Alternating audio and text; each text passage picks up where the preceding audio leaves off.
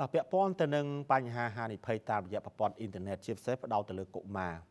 ដោយលោកជំទាវជួបនអេងក្នុងនាមជារដ្ឋលេខាធិការនៃក្រសួងមហាផ្ទៃនិងជាអនុប្រធានអចិន្ត្រៃយ៍នៃគណៈកម្មាធិការជាតិប្រយុទ្ធប្រឆាំងអំពើជួញដូរមនុស្សបានរំលឹកឲ្យមានការប្រុងប្រយ័ត្នខ្ពស់ចំពោះហានិភ័យលើកុមារនិងយុវវ័យតាមរយៈប្រព័ន្ធអ៊ីនធឺណិតជាពិសេសគឺតាមបណ្ដាញសង្គម Facebook តែម្ដង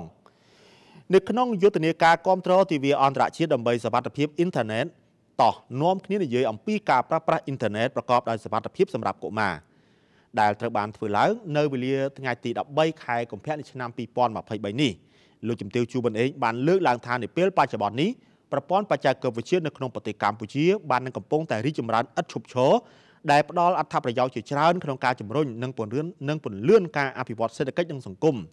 ប៉ុន្តែទោះជាយ៉ាងណាក្តីជនខិលខូចក៏បានឆ្លៀតឱកាសយកប្រព័ន្ធអ៊ីនធឺណិតនេះសម្រាប់បោកប្រាស់ ដើម្បីតែផលប្រយោជន៍ផ្ទាល់ខ្លួនតែម្ដងលោកជំទាវក៏បានរំលឹកឲ្យកុមារាកុមារីត្រូវប្រុងប្រយ័ត្នចំពោះប្រព័ន្ធអ៊ីនធឺណិតនេះកុំលងលក់នឹងការឆោតតាមរយៈការឆាតលួងលោមតាម Facebook ឬតាមបណ្ដាញផ្សេងផ្សេងរបស់បុគ្គលមួយចំនួនករណីខ្លះគឺជាករណីឆបោកនិងបញ្ឆោតឲ្យប្រព្រឹត្តនៅបទល្មើសផ្សេងផ្សេងដែលសង្គមស្អប់ខ្ពើមលោកជំទាវក៏បានលើកឡើងផងដែរថានៅពេលបច្ចុប្បន្ននេះ ប្រទេសកម្ពុជាត្រូវ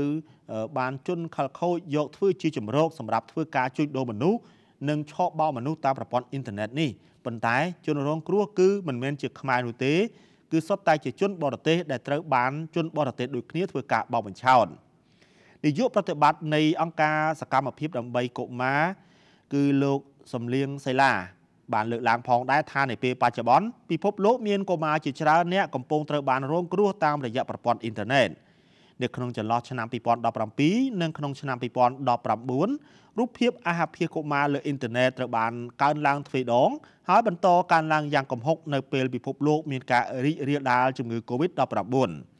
លោកបានធ្វើការអំពាវនាវដល់ភាគីពាក់ព័ន្ធទាំងអស់រួមគ្នាធ្វើឲ្យអ៊ីនធឺណិតកាន់តែប្រសើរនិងមានសុវត្ថិភាពនិងត្រូវធានាបានថាកុមារគ្រប់រូបត្រូវបានផ្ដល់សិទ្ធិអំណាចនិងគោរពនៅលើប្រព័ន្ធអនឡាញ ហើយចូលរួមទាំងអស់គ្នាដើម្បីធានាថាគ្មានកុមារណាម្នាក់ត្រូវបានទុកចោលពីក្រោយឱកាសដែលបច្ចេកវិទ្យា Digital អាចផ្ដល់ឲ្យនាពេលបច្ចុប្បន្ននិងទៅអនាគត។